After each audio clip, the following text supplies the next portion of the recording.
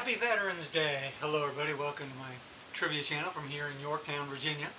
And we've got a lot of special veterans that served up at our battlefields there. And my dad was a Vietnam vet, my Uncle Tony, my Uncle Jimmy, Grandpa, and so forth. So we had a lot, a lot of military in our family. But today's trivia question is, Veterans Day used to be called Armistice Day. And it was changed, a uh, law was signed by Ike, President Eisenhower. What year did he sign that law, change it from Armistice Day to Veterans Day? A, 1952, B, 1954, C, 1956, or D, 1958? As always, my questions, I'll give you a few seconds to pause, and spoiler, I'll give away the answer.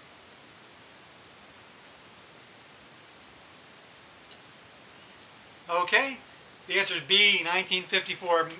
May 26, 1954, Veterans Day became law. Kind of interesting, that's right around Memorial Day and Armed Forces Day, but you know, just a coincidence there.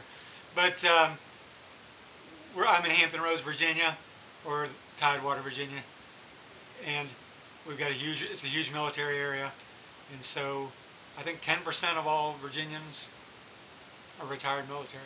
I think it's pretty high. So that's it. Thanks to everybody for your service. Oh, another bonus trivia. Veterans Day is for all who served.